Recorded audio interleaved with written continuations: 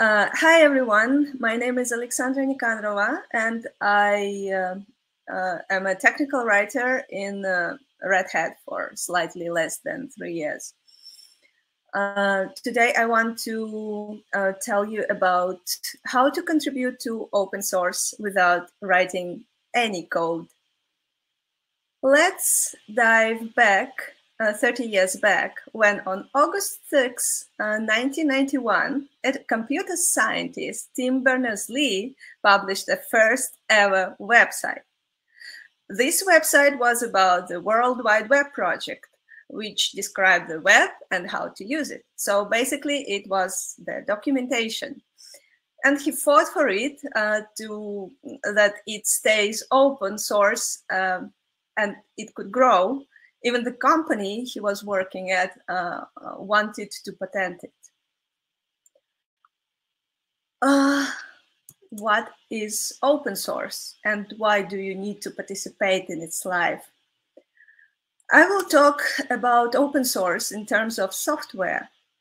In this case, open source software is software with its source code open to everyone, which can anyone can view, modify, and improve. Of course, this person must know programming language, algorithm, structure of the project, and so on and so on. Why open source versus proprietary software? I would say security reason. I will tell you why. Um, there must be there might be an argue, but still, um, to my opinion, having uh, open source, using open source um, software, you have better control. Even if you have some bug or whatever in the code, you can fix it. You can make it, um, yeah. In a proprietary software, you don't have this opportunity. And you, it is more visible for you how the software operate uh, with the data, with sensitive data if you feed this data to this uh, software. And in appropriate, in terms of proprietary software, you have to rely on the on the provider of the software. So you don't have control of that. Um, the other reason um, proprietary software is pricey. I will share my personal experience um, a little bit. I am fond of photography, and the first thing which comes to my mind, came to my mind, was Photoshop. But back then, it was so extremely expensive. I couldn't afford it simply. It's an amazing software, but yeah, back then it was very pricey. So I did some research and I found GIMP. GIMP is amazing tool as well. It has all the tools I need for my hobby, for my needs. so I went for open source and I'm pretty content and happy with it. And um, with all these amazing features and accessibilities of open source software, there are still some pitfalls. And one of them, unfortunately, documentation. And I will tell you why. Well, programmers are the smartest people in the world, and they can add a feature, they can describe the feature actually, but it will be something like these calls this function or uses this library and it should look like that, but it's too technical.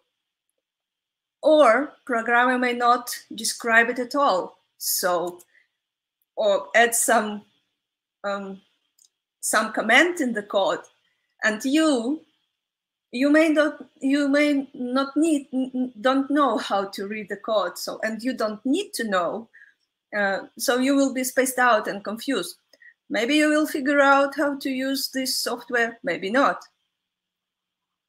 But while you will be figuring out how to use the software you will spend a lot of time to find a uh, decent solution how to solve your problem using this particular software. So that's um, and this open source software um, so open source projects usually um, supported by open source communities because usually one person cannot uh, write a good code, cannot test it properly, and yeah, probably cannot add understandable documentation. So basically in open source communities, we have developers, they are writing code, they fixing bugs, and they are a source of ultimate technical knowledge. We have users. Users are using software and occasionally can report a bug if they find any. But how? How can you use, how the user can use this software without proper description? Because, uh, of course, um, user can learn by trying everything but that's time consuming, as I already told. So that's why we have technical writers. And technical writers are basically a missing piece between a developer and a user. And they making they are making software usable. As a technical writer, you don't have to understand the code. But unlike most of the users, because uh, users can be not uh, may not be a part of the community and just using this software like found it somewhere for uh, solving their um, problems. so unlike those users, you have uh, access to developers and you can ask them for better explanation and developers, in my experience, usually helps um, because it's almost impossible. They understand that it's almost impossible for a user to achieve some results by using their software. um, and yeah, in this case, um, your help as a technical writer is really, really important. Main question, where to start from? A very simple way is to start with your familiar software, the one you're already using. If you struggle now and then with something, it's a good sign that software is lacking documentation. There are other options. You can find the project on the GitHub or GitLab, where the majority of open source projects are located.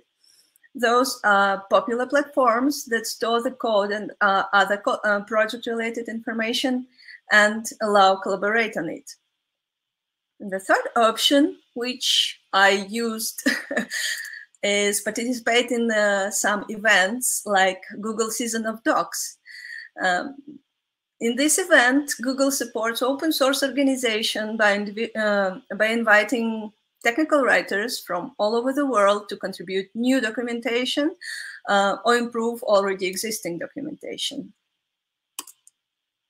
Me personally, particip I participated in this event last year, 2020. Uh, I chose Wireshark project. I applied for it and was um, accepted as a technical writer.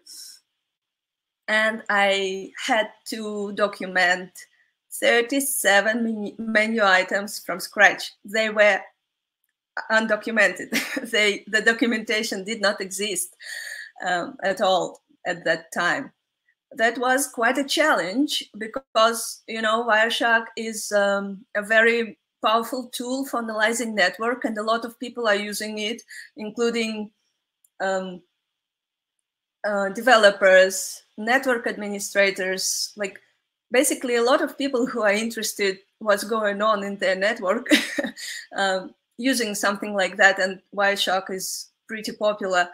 Even it is even with its popularity, uh, documentation a little bit a mess there, unfortunately. Um, and I got lucky with this project because they were using similar tool chain uh, to the work I do for my full-time job. Um, they have GitLab, they store their project on GitLab, and their documentation is written in Asciidoctor. Other than that, I had hard time.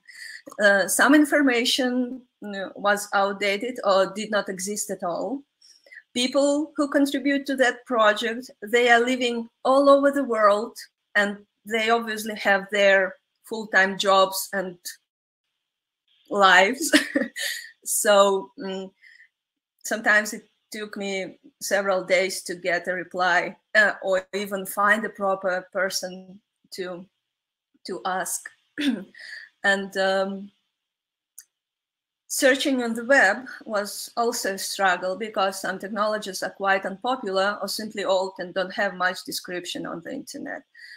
Be besides that, I had to work my eight hours shift per day, my full-time job, and refocusing between something completely different, it not, it, uh, it's not an easy process sometimes. So yeah, but I finished project successfully and I'm pretty happy with the results. And yeah, this is actually a picture I'm fond of also drawing a little bit. This is a picture I was struggling to document TLS in Wireshark. It's uh, my fun art for this uh, project. Um, yeah, I will share a little bit of uh, facts about Google Season of Docs.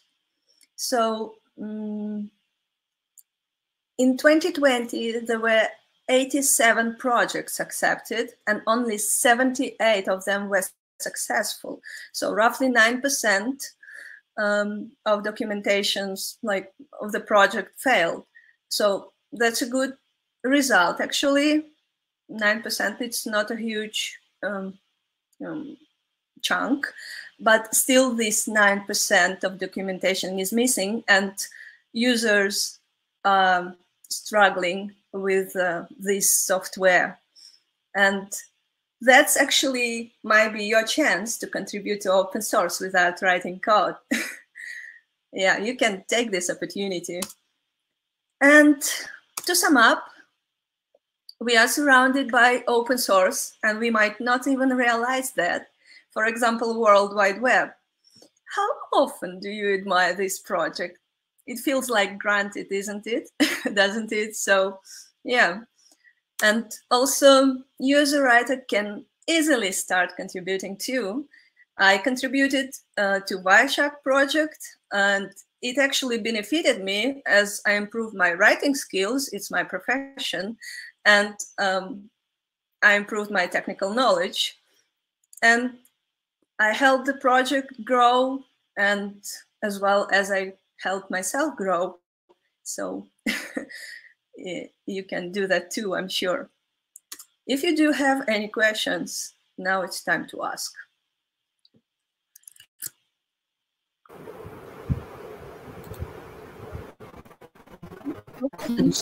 presentation, Alexandra.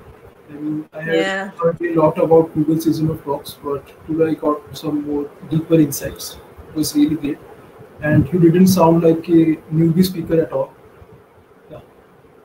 Oh, thank you. That's a compliment. Thanks a lot. Anyway, if you don't have any questions or you have, yeah, sorry, I will I share it once again. uh,